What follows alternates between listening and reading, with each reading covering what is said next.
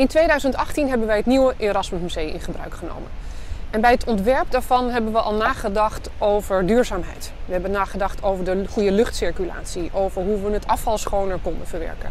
En ook nagedacht hoe we met dit nieuwe prachtige ziekenhuis konden bijdragen aan een gezonde leefomgeving. En de twee daktuinen zijn daar het resultaat van.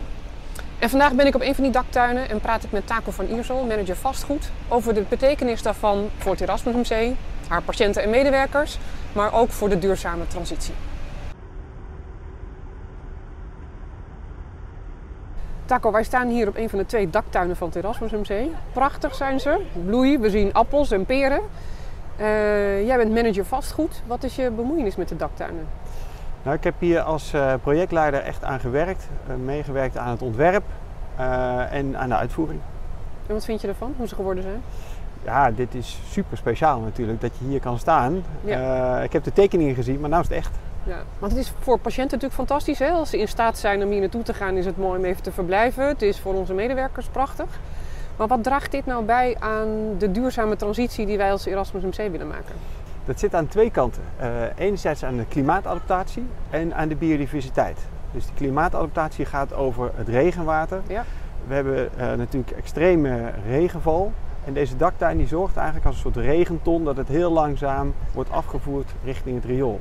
Nou, dat draagt natuurlijk serieus bij. Maar natuurlijk ook de biodiversiteit. Hè? De, de, de, de, de, planten en de bijen. En we hebben hier zelfs een hele bijzondere uh, wesp mogen vinden die we nog nergens eerder in Nederland hebben gevonden. Ja, dat had ik gehoord. Er ontstaan ook gewoon hele nieuwe species doordat je een tuin op hoogte hebt hè? nu. Ja, het is echt uh, ja, ja, uniek dat we dat uh, hebben op deze grootte. Ja. Hey, nou zijn wij best druk bezig hè, met, met duurzaamheid in Terras van Hustee. staat echt stevig op onze agenda. Wat vind jij nou dat we nog meer zouden moeten doen? los van het gebouw, waar we natuurlijk al van alles in gedaan hebben. Maar in brede zin, wat zouden we nog meer aan duurzaamheid moeten en kunnen doen? Nou, bij het Erasmus MC slopen we natuurlijk al circulair. Dat is al een keer goed gelukt. Maar nu moeten we eigenlijk de stap maken naar circulair ontwerpen en echt circulair gaan uitvoeren. Okay. En uh, dat is echt nog wel een opgave die, uh, die niet alleen wij hebben, maar heel bouw in Nederland heeft. En dat is voor ons de, de uitdaging.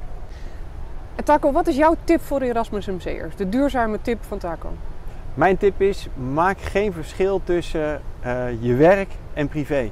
Als je privé circulair bent, doe dat ook op je werk. Of als je duurzaam bent bij het Erasmus MC, doe dat ook thuis.